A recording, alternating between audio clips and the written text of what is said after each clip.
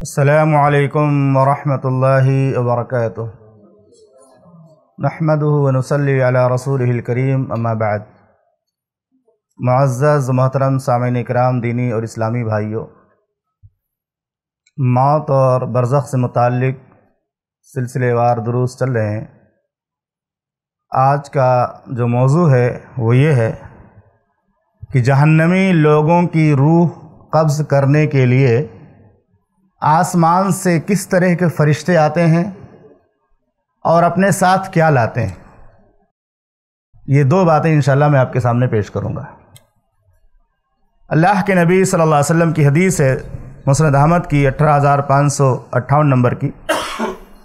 मोहम्मद रसूलुल्लाह सल्लल्लाहु अलैहि वसल्लम ने फरमाया व इन अब्दल काफिरा व फ़ी रवायतिन अल्फ़ाजिरा जब किसी काफिर या फासिक व फाजिर शख्स की वफ़ात का वक्त आता है, अल्लाह के नबी सल्लल्लाहु अलैहि वसल्लम ने फरमाया, व इन अब्दल काफिरा, व फ़ी रवायत अल्फ़ाजिरा इदा कान फ़ी इनक़ामिन दुनिया व इकबार मिन आखिरा.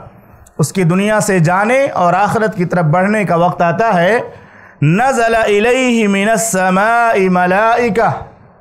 तो उसके पास भी आसमान से बेशुमार फरिश्ते आते हैं। वो फरिश्ते कैसे होते हैं? गिलाजुन शिदादुन। फरिश्ते इंतहाई सख्त दिल और इंतहाई मज़बूत होते हैं। सख्त दिल भी होते हैं और मज़बूत होते हैं।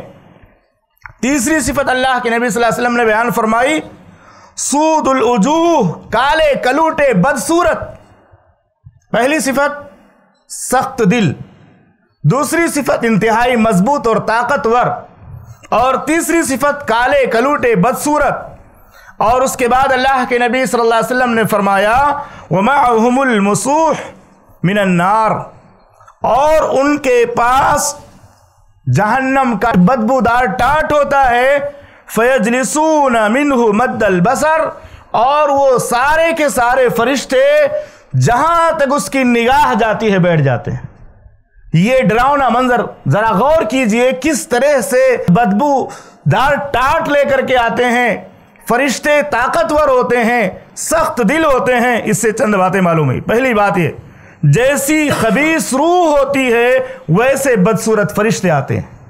दूसरी बात ये, जैसे शरीर और नाफरमान और सरकश लोग होते हैं, उनकी वफात के वक्त उसी तरह जल्लाद किस्म के फरिश्ते आते हैं।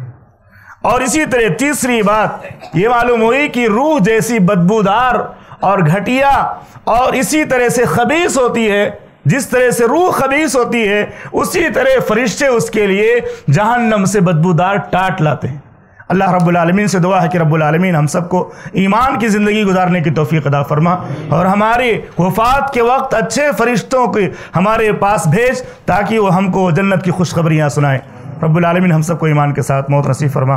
आमीन। वसल नबी करीम। असल ऐसे ही फ़ायदेमंद इस्लामिक वीडियोस देखने और मनहज सलफ़ पर किताब व सुन्नत की तालीमत को आम करने में हमारा ताउन करें, ताकि आपके लिए ज़रिया नजात, जन्नत के हसूल का सबब, साथ ही माल में बरकत व इजाफे का ज़रिया भी बने। आमीन। जजाकल्ला खैरन।